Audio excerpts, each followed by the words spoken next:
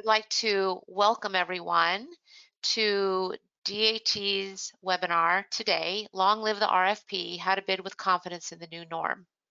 My name is Randy Kovac, and I am part of the marketing team here at DAT.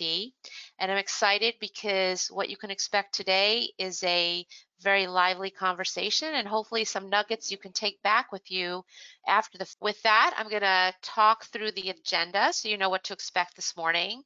Uh, after I'm done talking, I'm going to hand it over to our panel today and they'll do their introductions. And we're going to start out with setting the stage. And what we mean by that, we're going to be looking back and looking forward. So let's just make sure we're all on the same page and recognizing where the business has been. And then we're going to do a demo but before we get the demo, we have a little bit of a teaser because we've been working here at DAT on this new RFP tool, and we just want to give you an idea of what you can expect in the coming months when this product goes live. And then we'll go into Q&A. And with that, I'd like to hand the mic over to our moderator today, Eric Williams, and everyone can do their introductions. Thank you so much good afternoon or good morning, depending on where you're at. I'm very happy that you've taken the time out of your busy day to come join us. Um, I'm hoping that uh, with the uh, industry experts we have on the panel today, um, you'll actually get some benefit for your time. So I'm Eric Williams. I'm a senior program manager here at DAT. Um, if there's a job in the industry or a seat, I've probably sat in it at one point or uh, helped train somebody on how to do that. Um, so Brad, do you want to introduce yourself? Pleasure. Uh, I'm Brad Loeb. I'm the Vice President of Pricing and Analytics over uh, Armstrong Transport. Uh, been in the industry a little over 12 years now, and uh, I've also done a variety of uh, positions uh, from working for an asset company, shipper, and now broker. Thank you, Brad. I'm very happy to be with you today, and I, I am really excited to kind of pick your brain on some of these topics today. Andrew? Hi, Eric. Like Brad, I've been in the industry about 12 years now. I've been with Circle Logistics as a VP um, for about nine years. I manage four of our 12 offices, about $250 million in truckload freight brokerage. And as we've grown over the years, I've played just about every role in the truckload freight brokerage that one can. Yeah, and I'm really excited um, to hear your perspective on how to sell some of this stuff because uh, oftentimes you have to align your pricing and uh, selling strategies together. And since you have that uh, P&L responsibility, I, think you'll have a, a, really unique viewpoint today. Um, and then Miles, uh, you're going to be helping us out with a, a demo of uh, DAT Ratecast. Is that accurate? Yes, sir. Thank you, Eric. And thank you, Andrew and Brad, for your time and joining us. Hopefully, I look familiar to some of you in the audience. I may be your sales rep at DAT. Um, been in the industry since my days at freightquote.com back in 2015. Um, but I'm excited to show you Ratecast. I think there's a lot of traction with the tool right now and uh, just a ton of benefit behind it. So I'm excited for this conversation too. All right, um, you guys all want to jump in? Um, I think it's always important to start these conversations with a little bit historical reference. Um, Randy, if you could pull up the next slide.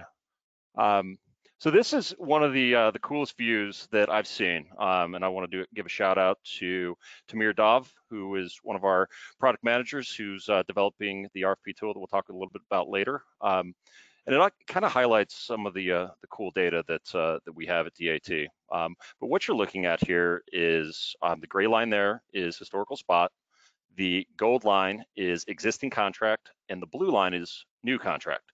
The uh, bars on the bottom uh, represent the average length of current contracts. So um, as we look at this, and we've uh, put in some historical reference points for you. So some of you guys out there who've been navigating this market for a while, um, these probably look very familiar to you, um, and the market results uh, should um, maybe bring back some good or bad memories. Um, but what we're currently experiencing is the longest period of rate inflation ever. Um, we're also experiencing the greatest magnitude in rate inflation ever. Um, and we're also looking at the average contract rate decreasing um, due to the rate volatility. Um, we'll probably get into this conversation, talk about mini bids and quarterly bids and things like that, which are certainly having an influence. But I think it's really interesting that um, we've fallen from 357 days, which was kind of the peak in that 2016, 2017 timeframe. Um, I know a lot of shippers were asking for for two-year contracts during that timeframe, down to 191 days. Um, and then the other thing that I want to draw your attention to is the delta or spread between that gold line and that blue line. Um, that's a record in the contract resets. So if you have existing contracts where, like if you're thinking of the concept of skate to where the puck is going, um, market continues to just kind of get this wrong. Like spots kind of hanging out with that existing uh, contract rate, but every time we have a reset, um, it uh, is jumping significantly more. So I think um, the uh, the data that we put put out most recently from the FMIC side for shippers is contract resets are right around 18% year over year, um, which is pretty significant. So um, what I want to talk about, as you can see from this chart, is there's one market and then there's this new market. So there's kind of been this historical shift. We can talk a little bit about the capacity, but we're not going to do that um, for this particular show. But what I want to talk about is kind of how the strategies have changed in that uh, 2014, 2016, 17, 18 period to where we're at now. Um, so if you can go to kind of go to the uh, the the next slide there, Randy. And this is kind of a that look back that we're talking about. So um, Andrew, if you want to kind of talk about think back to 2016, 17 and how you were participating in RFPs. Um, maybe kind of talk a little bit about your sales strategy, but then also if you can align that with um, some of your pricing strategies back in 2017 to kind of set where Circle's been, and then we'll talk a little bit about where you're going.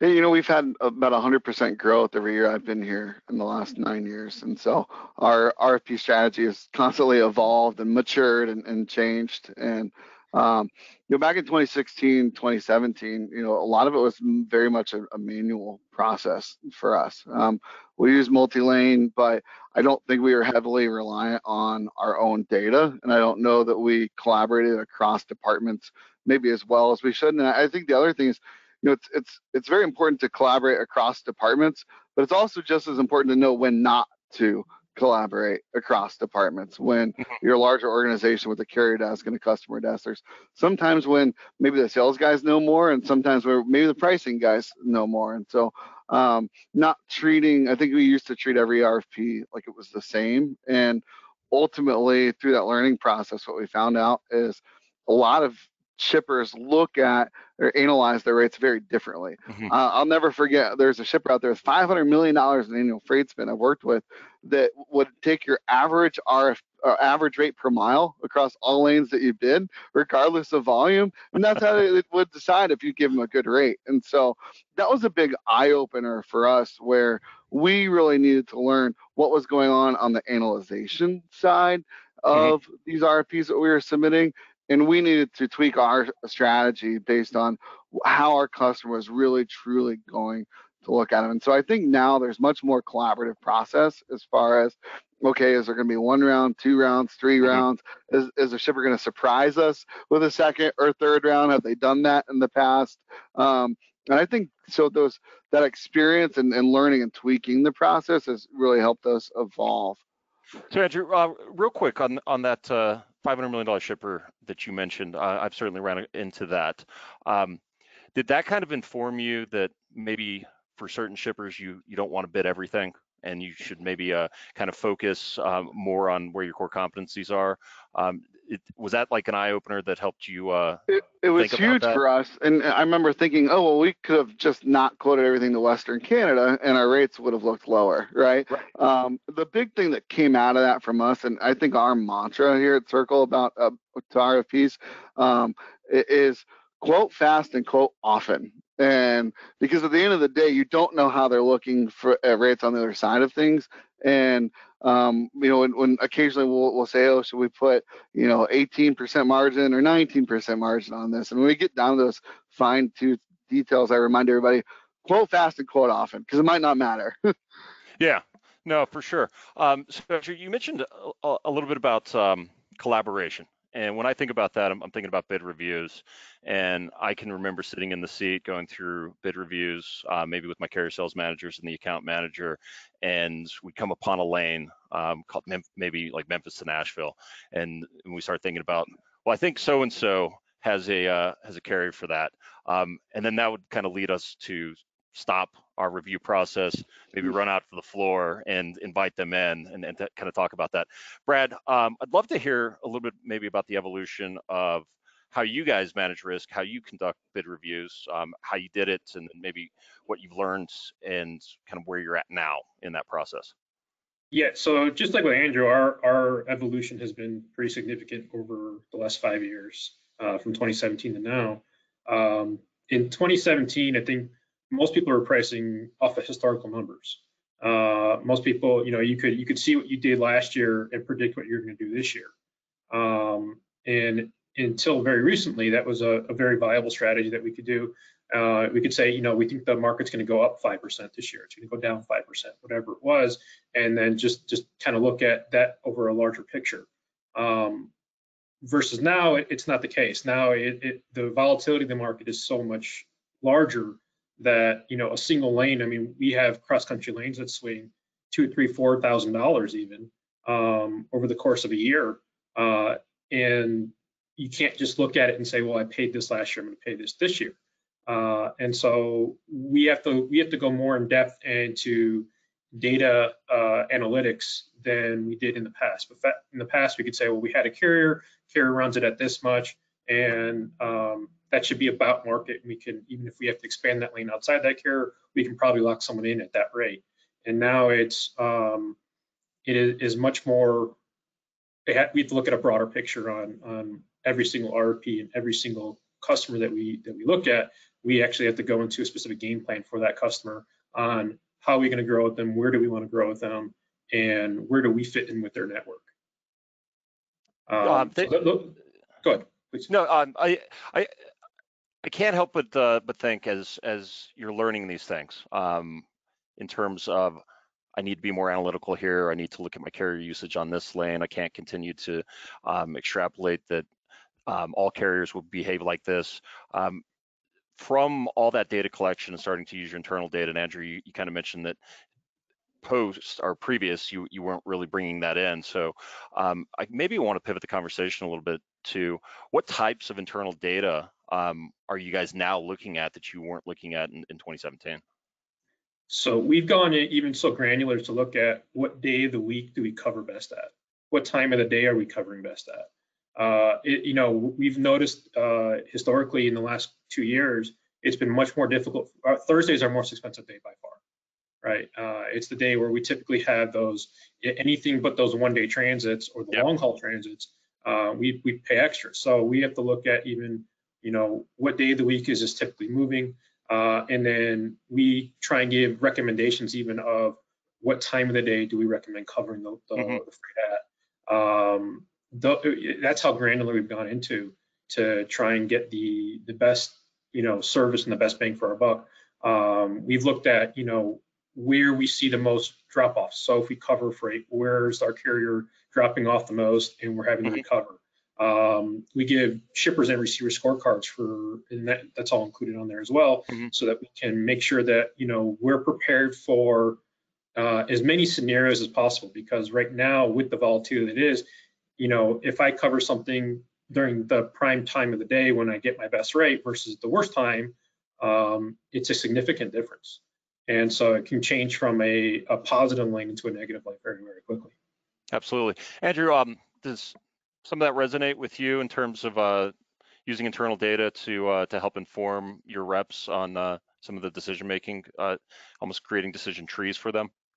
Yeah, we, we've looked at a lot of the similar data Brad's looked at, and I remember one thing that stuck out to me in particular is uh, Houston, there, there's the most available capacity on Mondays and the least amount on Tuesdays. And then it gradually scales up throughout the week. And, and what we kind of realize is there's not really much within other major metros outside of, you know, Texas within mm-hmm. 500 miles. And so trucks are landing there on Monday from their long haul over the weekend. And so we've been able to take that data and say, okay, with shippers that are shipping outbound to Houston, and we have flexibility, whether we could pick up on Monday or Tuesday, mm-hmm. we probably have some room uh, to work with them on the rate. But shippers who are more or less flexible and by appointment, we've so it, it really comes down to again working with the sales team for us on what flexibility we could take based on that data we found. I think one of the number one things that we found that's brought us us impact is actually reaching out to the shippers and the decision makers at the RFP process and saying, Mhm.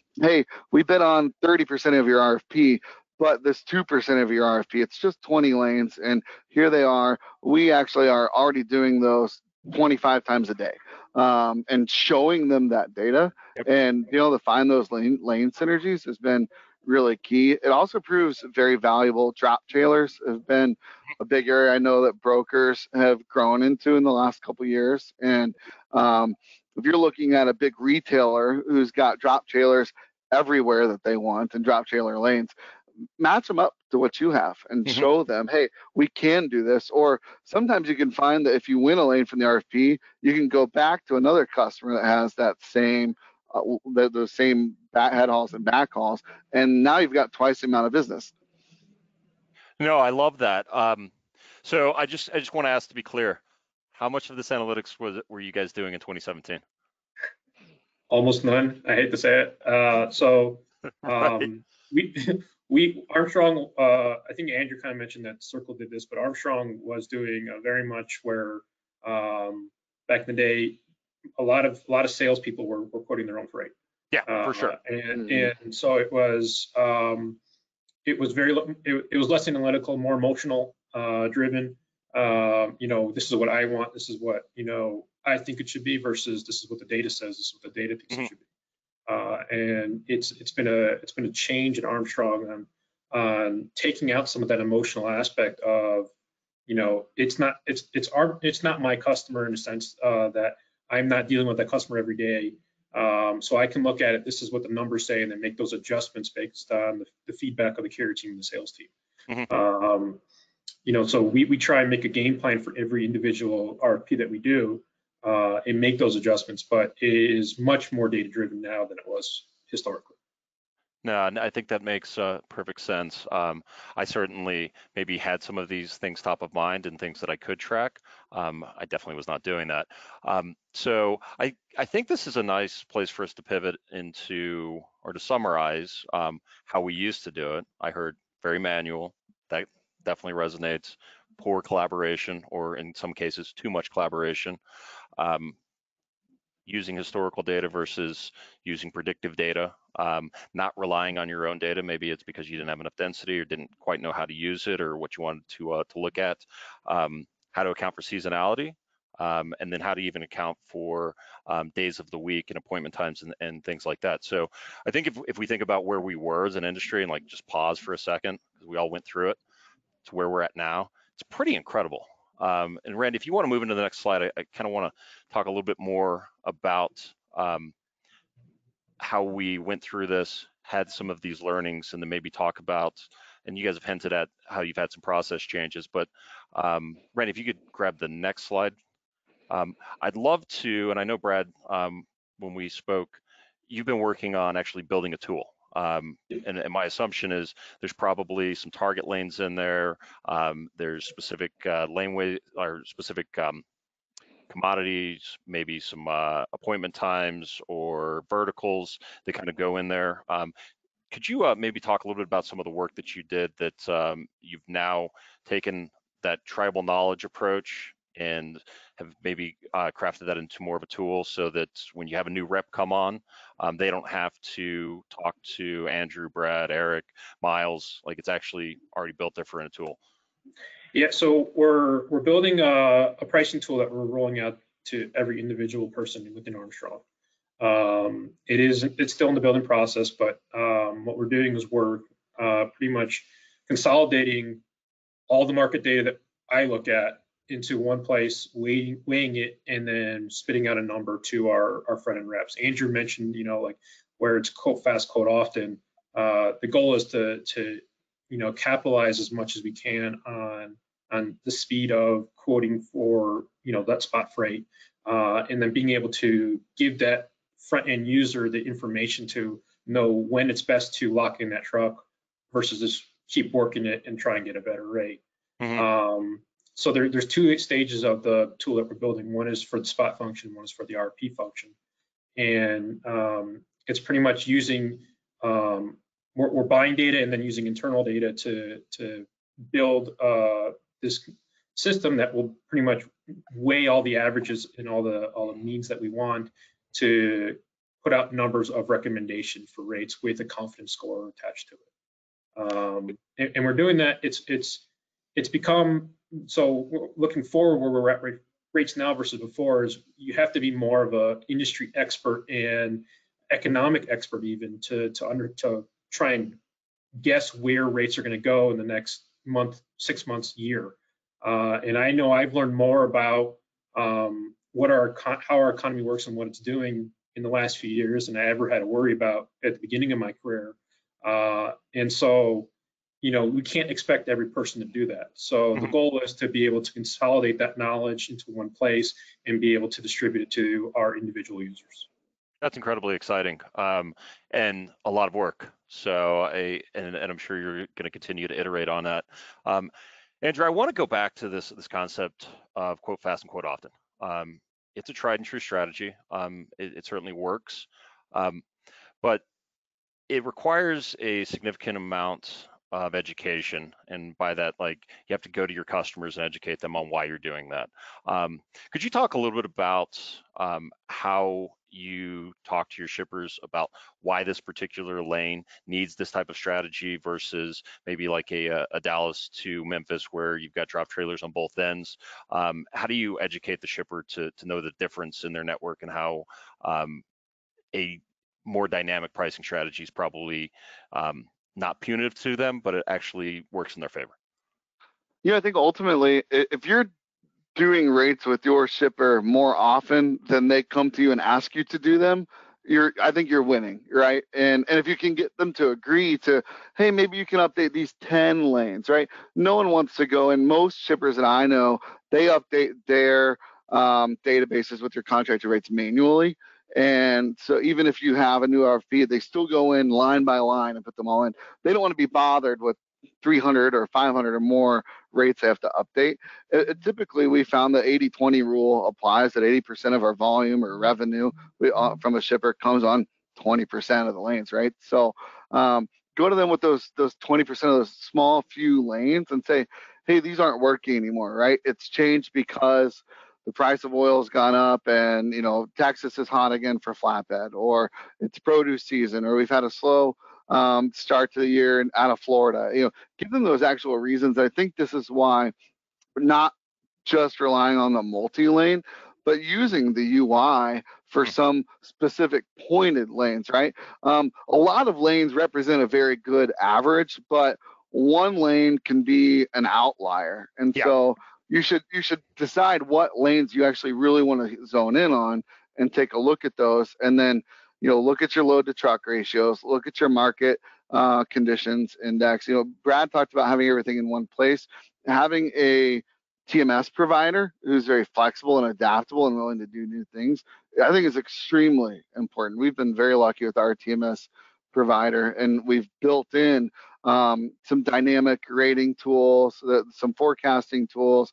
We're bringing in like load board rates and max buy based on DAT averages uh, mm-hmm. plus our own lane history, and those are all fluid. They're being updated every single yep. day automatically um, without having a person having to go in and, and, do that. And so I think being able to get all these in one place has been extremely important.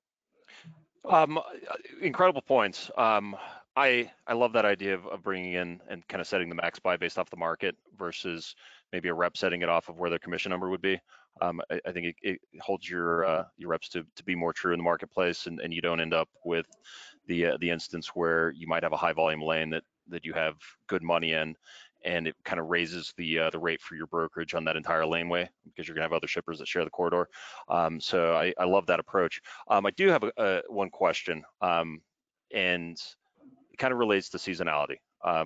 As as we showed at the the top in the in the slide that um, the average contract is is down to like 190 days. And Andrew, you're talking about um, going back to your shipper more often for for updates, and and you think that that uh, is a unique value prop to you, and it helps you win um, because you're having to submit rates or update rates more frequently in different portions of the year um, that doesn't that don't align with kind of that historical RFP schedule. How do you guys account for uh, for seasonality? Um, like, do you have any predictive analytics or um, in-house analytics that uh, that you're using that that help you identify which lanes are seasonal and uh, to what degree? Um, and either of you can take that question. I, I'd, I'd love to hear from both of you. Uh, I get, I'll start. Um, so we do use predictive analytics to, to work with seasonality. Um, I mean, thankfully with most produce seasons, they're pretty consistent. It's just a matter of then a couple weeks of, depending on weather, when they're gonna start. Mhm. Uh, for instance, you know, we're, we're coming up where Yuma's start to slow down. Uh, and so, you know, in the next two to three weeks, we're expecting California, Salinas area to especially pick up. Uh, Florida, you know, the Georgias are starting to go up, up right now, but they're a little bit slower than normal because of weather. So, you know, with produce, we're, we're able to do it on a larger regional level. Um, with general markets, we're, uh, we're able to do it on a larger regional level. And so we try and teach um, our, our pricing teams, you know, before they're able to work on long-term RPs, these, these general trends to watch out for. Um, we also make sure we have weekly meetings that we talk about the change in the markets, um, what's coming up, what's happening right now. Uh, and we work with that on a, on a weekly basis every week. Um, those are typically how we try and handle it. Uh, the predictive analytics is important. I mean, we definitely for sure use the Ratecast tool to help us with that. It'll help, you know, uh, obviously, you know, you guys have more an analysts than we do. So using your team to, to help predict when that's going to happen more closely helps. Uh, and then we, we combine that with our own data and knowledge to confirm or adjust off of your numbers. Got it. Thank you. Um, Andrew, how do you uh, kind of account for seasonality? You know, if I can shamelessly plug your uh, forecasting tool I here, I would. Um, we, you know, we used to go back and do the 12 month spit out on the multi lane and say, okay, what was it during this period of time last year, and maybe even the year before? And I know if, if you reach out to DAT, then maybe sometimes they're willing to provide you more historical data, and and we've done that from time to time, especially on on big produce season wins. Although I think in the last two years, a lot of seasonality has been flipped upside its head, and For sure. that's why I don't think we're really doing that anymore. And we this is where I'd plug the forecasting tool because I know you guys plug in a lot of other variables beyond history and what's going on in the current market. And so that's where I, I- I think we're probably pretty heavily relying on um, the data that we're we're paying you guys to provide us with. So I'll, I'll jump on top of Andrew. What he said there is we've actually had to add a line into our, our data for literally just an, it's an adjustment column. And so we literally had to add that in because of the current market and how it's going. And, and it technically can adjust up or down. Mostly it's going up, you know, until very, very recently. Um, and that's allowed us to help be a little more flexible with that as well. Got it. Um, I'm going to shift gears a little bit, and uh, I, want to talk about key success factors um, because it, it's one thing to uh, do all this analytics. Um, at the end of the day, like there's a profit motive behind all of this. So, Andrew, um, you run a, a significant uh, P&L, um, so that kind of puts you in a in a u- unique position um, where you're kind of thinking about pricing, procurement, sales, account management um, all at the same time. Um, what does a, successful RFP look like to you? You know, uh, one of my mentors told me a couple years ago. Um, he said, "Y- y- "You know, you know when you're no longer a startup, when the life cycle of your employees no longer dictates the life cycle of your sales process." And I, I thought it was really interesting because as we, my office has gone from 20 to 200 people in the last nine years. There was a time where my keys to success were certain individuals and um, and their ability to um, maybe a young guy fresh out of college with a finance degree and maybe a sleeping problem who can knock out an RFP at two in the morning. And um, you know, I, I think that these days um, it, it really comes down for us. It comes down to process and defining your process and having it written down on paper. And for us, it's making sure that not one key individual is a part of that success and that we have a proper process where everybody in every department knows what to do, when to do it, who to involve, and how to approach it. And and if any point in time that process is broken or there's a chink in, in the chain, to come to management and say, hey, what what should we do? And, and two people came to my office today and said, hey, the process is broken a little bit. We have a disagreement on how to move forward. What do you think? And I think it's just around having a group that's of people involved in the process that all want to be successful, that are all moving in the same direction and fast is ultimately the keys to, to the success from my perspective. I'm sure Brad has a very different perspective from an analytical point of view, but from my perspective as a manager and a leader, I think that's the most important factor is having people who are on the same page and want to win. Thank you for sharing that. Um, Brad, I, I, am curious on, on your opinion. Um, what, what do you consider to be a successful RFP? Uh, so I kind of mentioned that we we have a, a goal before we start every RFP, and we, we look at that particular customer, and depending on where that customer is in our network, um, that it, there's the different goals for every single one. If it's a new customer, sometimes the a successful RFP can just be getting a lane. Right. Uh, just getting in the door, getting a lane, getting moving, showing what we can do and how we can help that customer. Mm-hmm. Um, for other customers, it can be, uh, you know, is it a growth customer? Is it this customer we want to grow with? Uh, is it a customer that we have a lot of freight with, but we need to be more profitable? Um, it, you know, is it so each individual customer we look at, uh, and if we can hit that goal, that's a successful RFP for us. Um, so, you know, for new customers, do we get in with that customer? Do we get the lanes that we were shooting for, or a lane that we were shooting for? Uh, and that opens up, you know, the spot network for us and opens up future, you know, growth. Um, is it a customer where, you know, historically, you know, because maybe we underbid it, um, you know, we don't we don't negotiate a, a contracted lane. So maybe we underbid the year before, mm-hmm. and we need to we need to up our profitability with them.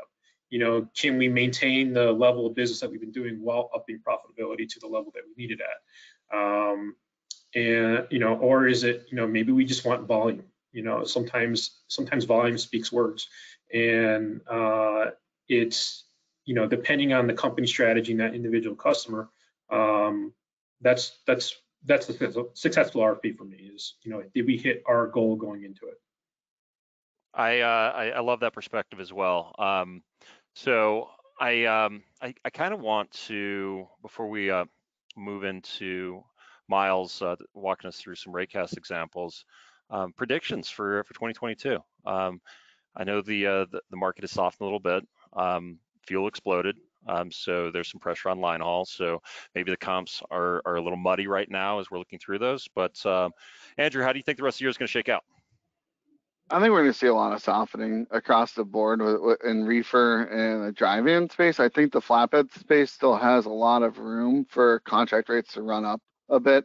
Um, November and December, I talked to some of my leaders and, and our, our data folks, and I said, hey, let's let's really price very aggressively, especially with new business going into 2022. And they kind of looked at me like it's not been like that. I think you're kind of crazy. And then quarter one happened and things continued to go up, and I did look crazy.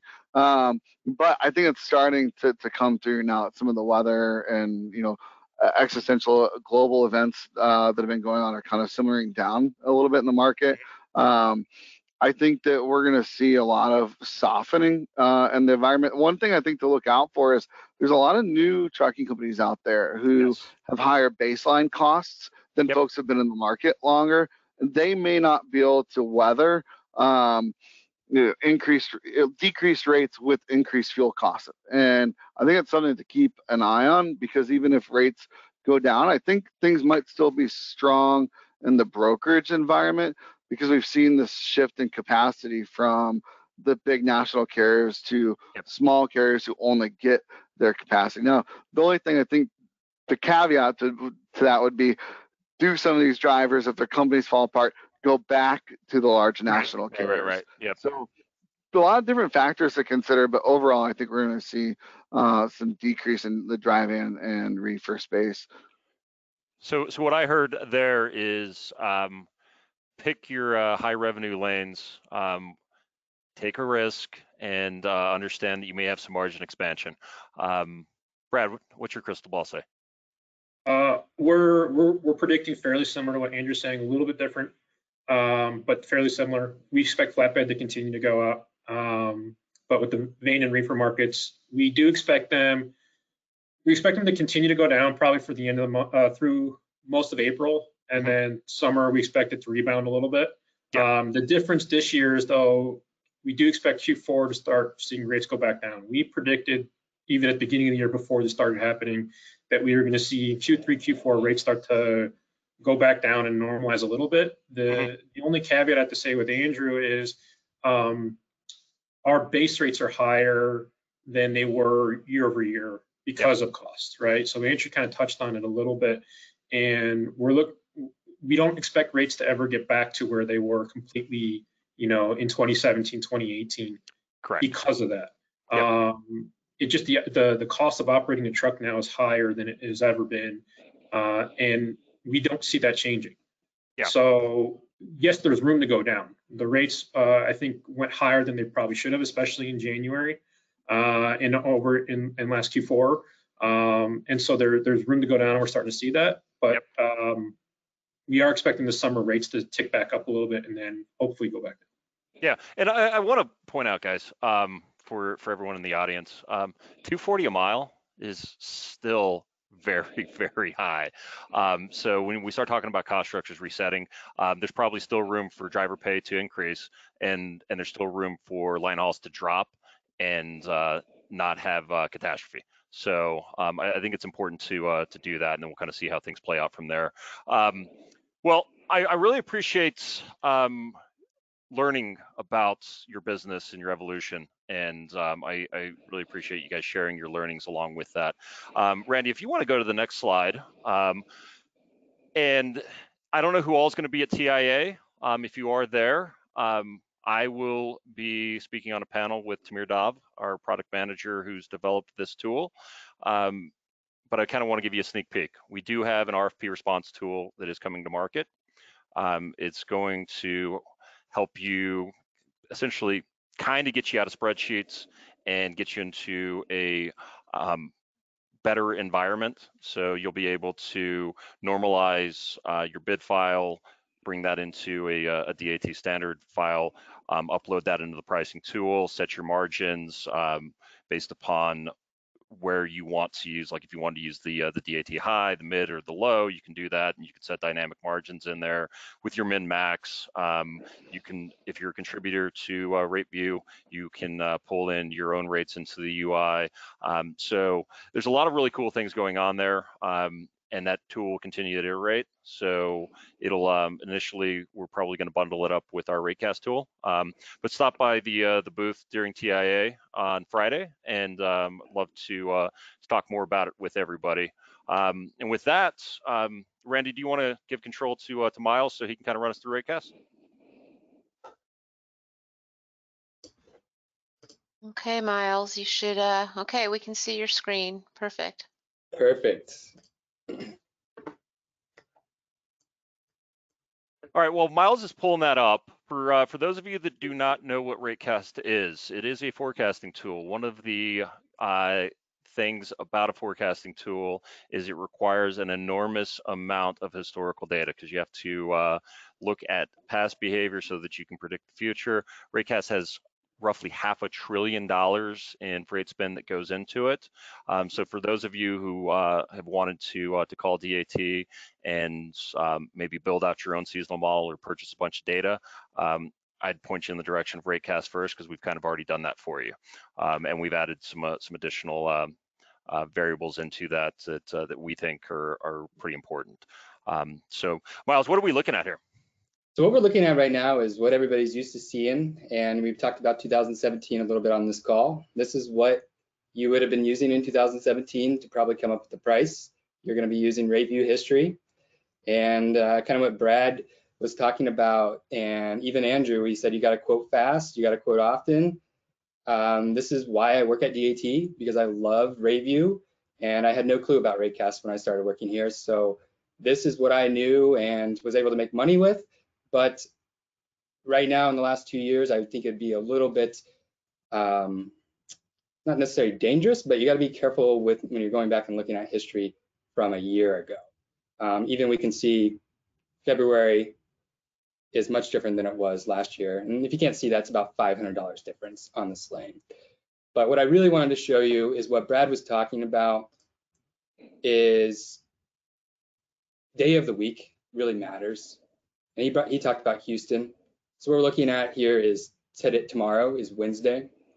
he was talking about how Thursday seems to be higher than Friday. And then Monday seems to be lower and then Tuesday gets more expensive. This really shows you that in the tool.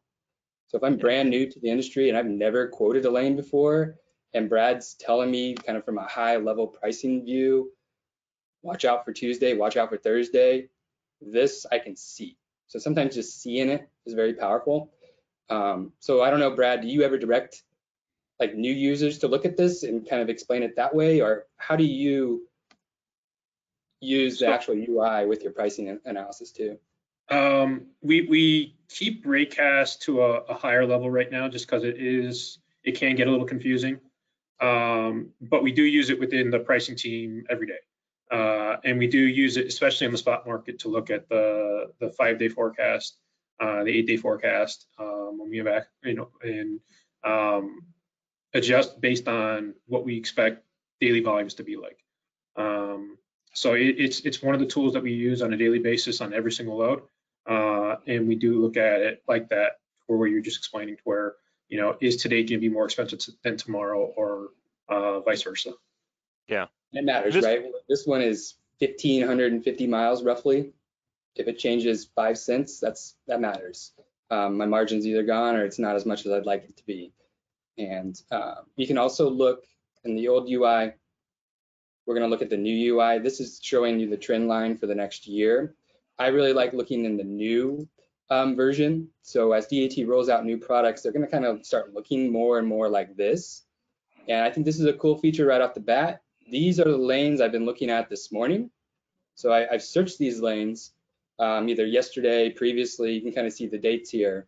So I know when I looked at them. Um, the RFP tool that Eric mentioned, he'll be showing at TIA alongside with me in San Diego next week is similar to this, um, but you'd be able to kind of click in here, manipulate this rate a little bit and make it yours. So I'm just gonna jump into, we kind of talked about produce a little bit. I'm on Fresno, California, going into Dallas. So we should start seeing produce start to move. It's about that time. I can't remember if it was Andrew or Brad that mentioned within a week or two, we typically see produce season start. So we can look at this a couple different ways. You're going, well, this looks like I'm about to book a flight with Southwest or something like that, where we're seeing the rates presented to us in a calendar view.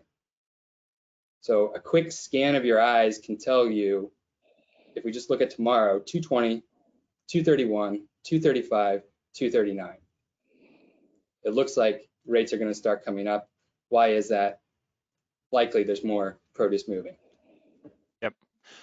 Um, Miles, can you show the uh, the timeline view there as well? Yeah. Yeah. So we had a couple different views. We were looking at the eight day view in the old UI.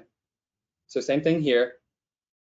If I'm Brad or Andrew, I'm sounding the alarm right now because I'm watching this go up and I know it's not going to stop for at least a couple weeks. So we were talking as a sales team this morning. Are our customers able to pivot fast enough? Because when I was a broker, there's nothing worse coming in tomorrow thinking you're going to make $500 on a load and end up losing money or something like that because you didn't attribute for maybe this Thursday is when you really start to feel it. Or maybe this Friday. Everyone's got a load that's taking them out of California and there's not much left, so they, they can name their price, right? And you don't want to be in that position. So I'm trying to grab this right now. I'm not trying to wait till next week.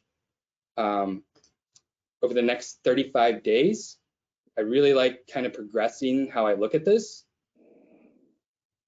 This is not showing us any sort of don't do anything crazy miles. I always used to like to push the limit and try and buy better. This would tell me not to do that um, and be prepared for rates to keep going up. Um, Andrew, Brad, you want to throw out a date when you suspect this to go down that we'll look at next? Eric's got his hand up. We, we can all take a guess. Fourth of July. you're When, pr- when pearls, when it'll start going down again? Yeah, when it- It'll, pro- guess? I mean, we, don't- I don't expect it to go down until probably after August. I'm going to go with Fourth of July. these holidays are good guesses, right? So let's see. 52 weeks is going to show us the year view. Brad, And Eric are correct, right? Going all the way up, here's the 4th of July. We're seeing a little bit of a lull, but we're never really coming back down to where we were. Right. And then of course we got Thanksgiving and the holidays and then, you know, maybe right here is when everybody kind of goes home and there's not as much capacity. So we get a little bit higher rates for a couple weeks and then everybody comes back to work and rates are a little bit lower. So why does that look like that? Well, we've got about five and a half, six years of data in there and Eric, you threw out that that trillion dollar number, right? So that allows us to predict what's going to be coming. And it's not just a prediction. Andrew touched on it earlier. What happens in rate view yesterday, today, appears in ratecast tomorrow and the next day.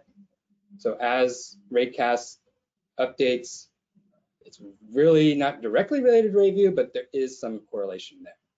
So Miles, like on on this particular lane, like we all know that Salinas uh, feeds the country, right? So um, in in the growing season, basically lasts during uh, all the the warm months. What does this look like for um, like that seasonal southeast produce? Yeah, so if we go back, you want to do like Miami to Atlanta, something like that. Yeah, love that. That's that that's that good lane. It usually kicks off what around like with like right around Mother's Day, right? That's where where it usually peaks, like uh, flowers and stuff like that.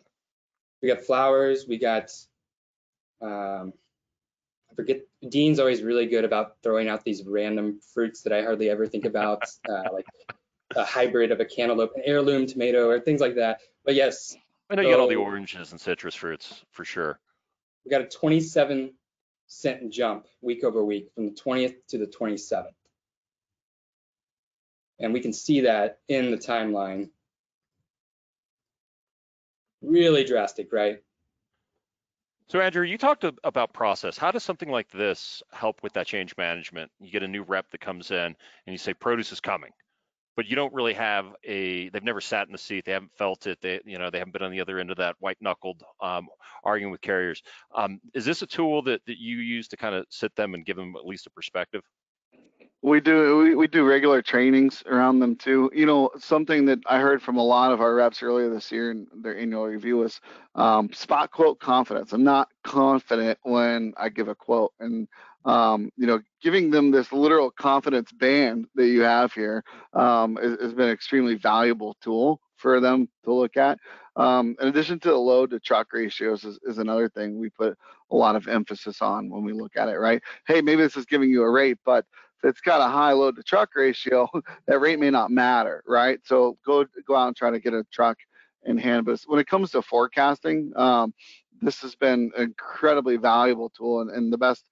Uh, I think it's filled a void in the industry that we haven't had out there to put in front of people. And the other thing I'd mention too is not only looking at the rate cast rate when you're pricing something, but also working with your procurement team or your carrier sales team on today's buy rate because you might have a load on the board today that you took two weeks ago Mm-hmm. and you should reevaluate your buy rate today versus what you thought it would have been two weeks ago especially in a changing market like we're in now That's such an incredible point, and and this kind of gives you the confidence to do that, as you mentioned. Um, Miles, I, I I I don't mean to cut you short. Um, we do have a little over 200 people on the call, and there are there are some questions that are that are coming in. I think we've got roughly eight nine minutes left.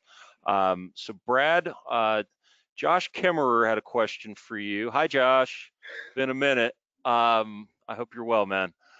Uh, Brad, how do you weigh the different data points when compiling it all together? as an example, do you lean more on internal uh, data versus ex- external data? And do you adjust that depending upon the opportunity? Yeah, so I can't go into too detail on that because it is proprietary, but we do use, we do weigh our own data the heaviest. Um, and then depending on what type of freight it is and what, uh, will depend on then what data after that is weighed next. So to give you an example, um, we weigh DAT differently than we would weigh um, Truckstop if it was van versus flatbed. Uh, Mhm. We have other sources, you know, for Canada um, that we weigh differently than. And um, it's all, we determined how much we weigh that based on um, what we found the accuracy to be.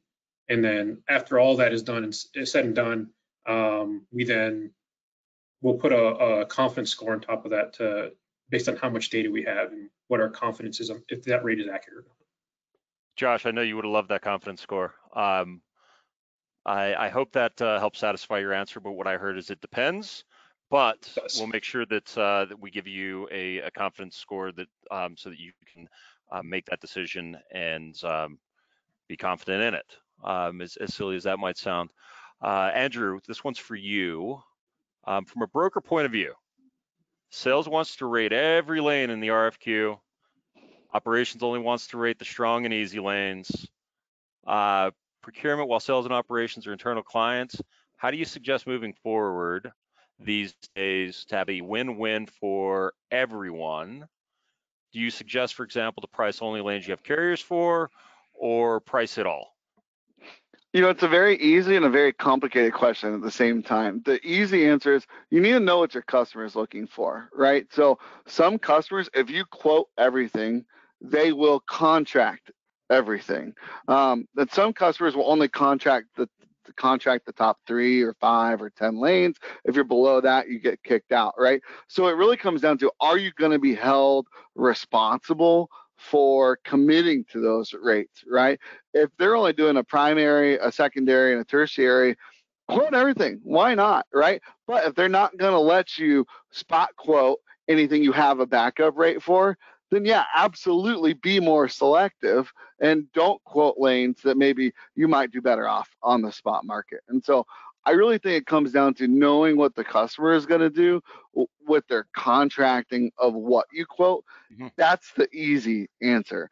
For a new customer who you don't know that answer for, it's a much more complicated question. The answer is probably somewhere in the middle. Maybe don't quote lanes that have more volatility. Um, I personally love the the standard deviation uh, that comes down in the multi-lane. Um, that gives you a great idea what your variance or vari- is going to be on a lane. If you're going to have high variance, maybe that's not a lane you should be looking at contracting, right? Um, So I think taking those factors into play and maybe the answer somewhere in the middle, maybe quote half or 20%. I think one thing I can tell you is I typically, especially larger enterprise shippers, I don't want to be more than maybe five per 10% of their contract volume because Right. if something goes wrong, I've shut down their operations, and now that and now the the relationships is on a different footing than what it was if maybe I had 20 or 30 or 50 percent of their Mhm. volume. Yeah, and that, that kind of speaks to your point uh, earlier that you mentioned of, of scaling from a small company to a big company. Those personnel issues, like if you have a large chunk of a of a shipper's contractual volumes and, and you you lose your account manager, um, there's there's a lot that walks out with that, and you really put yourself in a in a tough situation. Um, Ryan McClure, uh, can you provide an actual target margin you do not go below, or will that always be ever changing? Um, I'll try to take this one, and then Brad, you can tell me um, if I'm right or if I'm wrong, or if it's in line with what you do. Um, so I think you need to pay attention to gross margin dollars per load um, just as much as you do to your GM percent, because those at the end of the day are going to be what pays the bills. So, for instance, if you have a lane that uh, has $6,000 in cost and you put 10% margin on that, probably going to be too high. Um, so, but 6% might might be closer to the market. Um, whereas if you've got a 100 mile run and, and it's a $400 truck, um, six percent is is not going to uh, to pay for you to uh, to push the paper across uh, the the desk of everyone. So in that instance, maybe 20 percent or even 30 percent margin might be the right number for you. So I think it really comes down to the number of loads you're moving per day, um, what your uh, what your monthly nut needs to be, and can I cover that? And you back into that based upon your gross margin dollars per load, and then that can help you inform on your your margin strategy. Brad, how did you? If I could jump in there, oh, sorry. No, Um, something I think it's important to look at is mileage bands or, or, or revenue, right? If you're going to have a 2,000 mile run, uh, you're not going to have 18% margin on it, right? There's just you- you're end up making a thousand, two thousand dollars a contract load. It's not going to happen. But on the contrary, you can't have 12% mi- on a hundred mile run. You can't move loads making you know 80, 90, 100 dollars. So. Uh, we look at mileage bands when we look at our margin percentage, and we look at dollars dollars per load. Does that resonate with you, Brad? It does. Um, and, and I mean, so we look at a couple different asset aspects of this, right? So um, again, what is what is the goal of this customer? Is it to get into the door? I mean, there's times when we'll take a loss on a customer for a full year to get into the door with them because we see long-term growth. In which case, you know, we'll we'll uh, uh, price it very very aggressively. Uh, if it's an existing customer, what is the goal with that customer? Um, and in that case, typically we'll we'll try and keep that customer in between. So we we we have a, a range internally that we try and keep a customer in between, and um, we'll then look at it and say, is this customer within that range? And then for sure we use we use we look at it both in a percent amount as well as then a, a flat dollar amount. Yeah. Um, so Hey, you know, Brad, if have it's a- a short, I have a question on that, not, not- to cut you off, but um, when you're talking about getting an aggressive for, for a new customer, um, I think we can all think of the reasons why, why you need to do that, um, but you have to almost kind of do it intelligently. Are you targeting specific lanes that you're going to get aggressive on, like specific characteristics? So like backhauls, low volatility lanes. Could you talk about that? Yeah, so we for sure target specific lanes when we're going to take losses. We want to uh, target what's called, uh, I I call them low risk lanes, right? Yep. So um, intra-city lanes, so Dallas to Dallas, Dallas to Fort Mhm. Worth, uh, intra-LA, you know, um, very, very low risk, uh, lots of carriers to run them, lots in our, uh, that we can work with. And so we know exactly what our cost is going to be and we can say, well, I'm willing to take a $50 loss in every single lane um, on that, on that particular um, RFP to, to show them that you know, we can do what we say we're going to do. Um, you know, we have we have obviously strong lanes for our in our in our individual company um, that others don't typically have. So outbound Idaho, inbound Idaho, we're very very strong at. You know, the, um, or even then, if that customer doesn't do Idaho, maybe they run you know outbound Jersey, where you know lower risk, um, lower volatility. And so we can go a little bit more aggressive uh, and minimize the losses and still show that customer that you know we can service their freight, we can help them when they're in binds, we can do what we say we're going to do, and we're not going to go back on our words. I, I think that's uh, fantastic. You guys um, certainly operate with a lot of integrity over there. Um, Andrew, do you have any final thoughts? You know, I, I'm very excited about this tool. To shamelessly plug once again, I think it's filled a gap that is not existed in the industry. I, I did see a question in here um, about the rate cast uh, rate being pulled in there, and um, I remember working to Mir very closely um, in in the beta version of it. And uh, there's a lot of tools out there that um, it brings all the DAT tools and some gaps in the industry. It really closes, and it, it allows an opportunity for everyone to be collaborative in one centralized UI. Um, I'm very excited about the tool, and uh, I hope you guys check it out with Eric at the, in San Diego. Yeah, and and your feedback makes these tools better, right? Like we build these things for you. Um, we don't build them because we think it's a great idea. Like we, we- we're out there listening and we're trying to uh, to fill those gaps. Um, but I just want to uh, to thank everybody. Um, there was a lot said today. Andrew, you and Brad, um, you guys are fantastic.